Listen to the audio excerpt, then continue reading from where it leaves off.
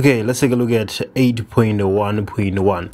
We have d over dx of 3x minus 5x squared. We can simply use the power rule here, right, to determine that, of which we're going to get 3 minus 10x. No complications there. We're just using the power rule. And then taking a look at 8.1.2, we're supposed to find g prime of x when g of x is equals to 2 over x squared minus 3 and then we have the square root of x to the 7 so a few issues might might arise here. We are not able to use the power rule when our function looks like that. So what do we do? We just rewrite it. We don't have to really complicate things. Uh, what do i mean by that? Let me show you. So we're gonna have for the first part g of x is equals to 2 multiplied by x to the minus 2 when you bring x squared to the numerator the power changes sign, right? And then we're going to have minus x to the 7 over 3. So when we have written it like this, we can then derivate. And then we are able to see g prime of x. We cannot say g prime of x at this step. It would be wrong. We say it on the last step. So this will be equals to minus 4x minus 3, right? And then minus 7 over 3 x to the 7 over 3 minus 1. So 7 over 3 minus 1, 4 over 3. So 4 over 3. So g prime of x is minus 4 divided by x to the power 3 minus 7 over 3 x to the 4 over 3. So I think we can leave it like that. I don't think, um, yeah, we, we can be required uh, to further simplify it. I think that is perfectly fine. And then 8.2 determine the equation of the tangent to f of x at x is equals to 2. So f of x is equals to x to the power 3 minus 4x squared plus 2x plus 3. When we derivate this, right, we are going to have 3x squared minus 8x plus 2.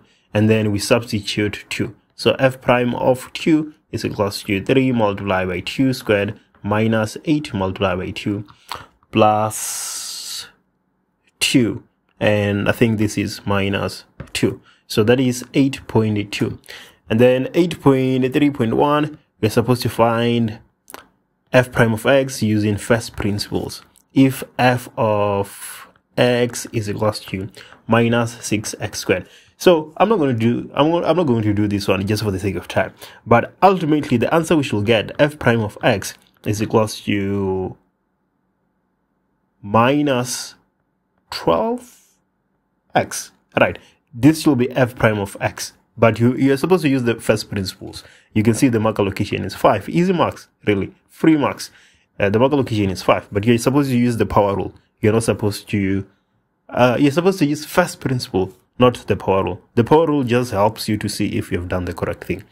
And then 8.3.2, write down how you will restrict the domain of f such that f inverse uh, such that f inverse, the inverse of f is a function. Okay, in order for me to explain this, I will also be answering 8.3.3 in the same way. Let me show you why. Okay, so y is equals to minus 6x squared, right? So the inverse is x is equals to minus 6y squared. So we end up with y squared being, being equals to x divided by minus 6. So y is equals to plus or minus x divided by minus 6. So you can see that we need values of x to be negative here. We need values of x to be negative because when values of x are negative, it ensures that uh, the square root is defined. Because if x is positive, it's not going to be defined because we cannot take the square root of a negative number. So we need x to be positive here. We need x to be greater than 0. So this is the restriction we can impose. We need x to be greater than 0. Because when x is greater than 0, the square root is going to be defined. If it is 0, it is undefined. If it is negative, it is.